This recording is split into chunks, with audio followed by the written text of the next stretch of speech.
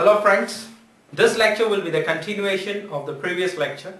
In the previous lecture what we have done basically is that if this was the cross section of the column and the two principal axes were suppose this was my YY axis and suppose this was my ZZ axis then essentially what we did was we found out the positions for which we should apply the point load P such that there won't be any tensile stresses induced in the cross section right? And we assume that this P would be applied through either this axis or through this axis.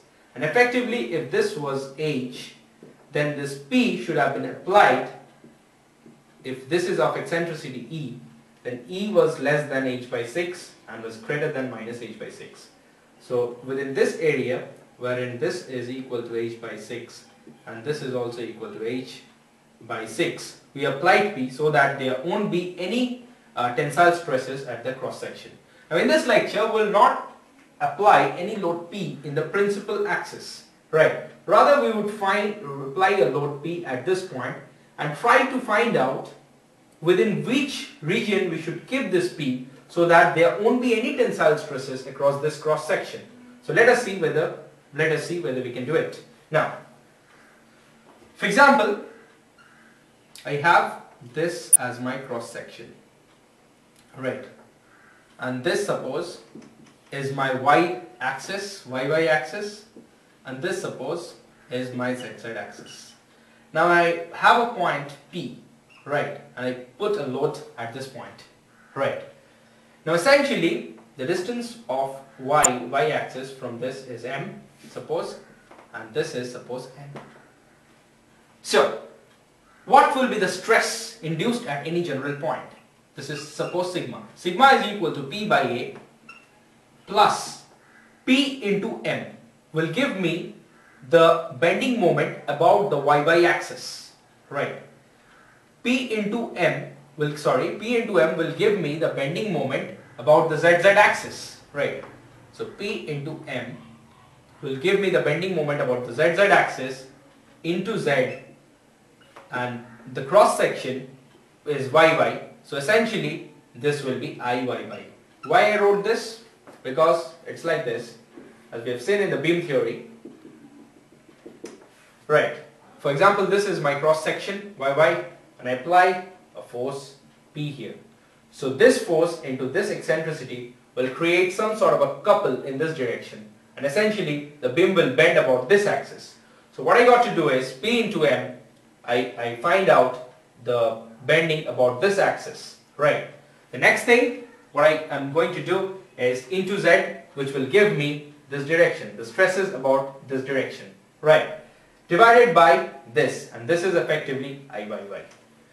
So plus P into N. P into N will be bending about the ZZ axis, right? P into N bending about ZZ axis into this that is the about distance about the Y axis that is effectively Y by IZZ, right? So if you take P by A common from here, I will have 1 plus MZ by uh, this suppose is IYY, this is RA RY whole square and this is suppose A RZ whole square, right. So 1 by 1 plus MZ by RY whole square plus NY by RZ whole square, right. Now, now the sigma would be tensile if effectively this is negative and the sigma will be compressive if effectively this is positive. Now we take this direction as the positive y direction and this direction as the positive z direction. Right. So essentially what we do is we put this that is 1 plus mz by ry square plus ny by rz squared to be equal to 0.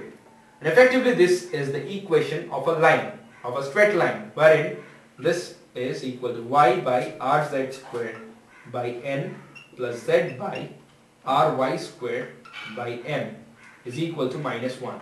This minus 1 indicates that this would be in this coordinate that is yz plane and essentially this u and v will be u will be equal to rz squared by n right.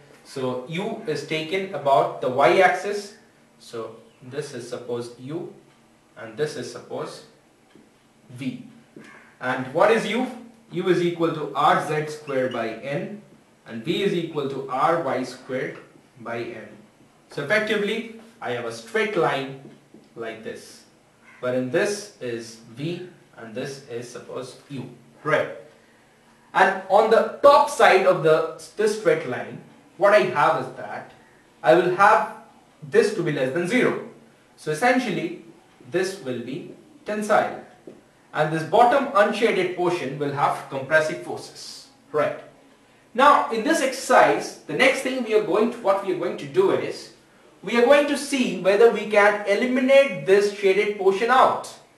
And effectively, if this straight line would pass through this point, and if this point was O, then there won't be any tensile stresses across this cross section. Right. Okay. So effectively, the next thing is we got to eliminate the tensile stress and put P in some region. Right. How can we do that? Now, for example, I take this equation. Right.